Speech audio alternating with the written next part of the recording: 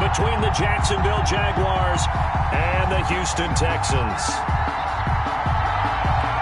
The final playoff push is upon us. It's week 12 of the NFL season, and we're underway on EA Sports.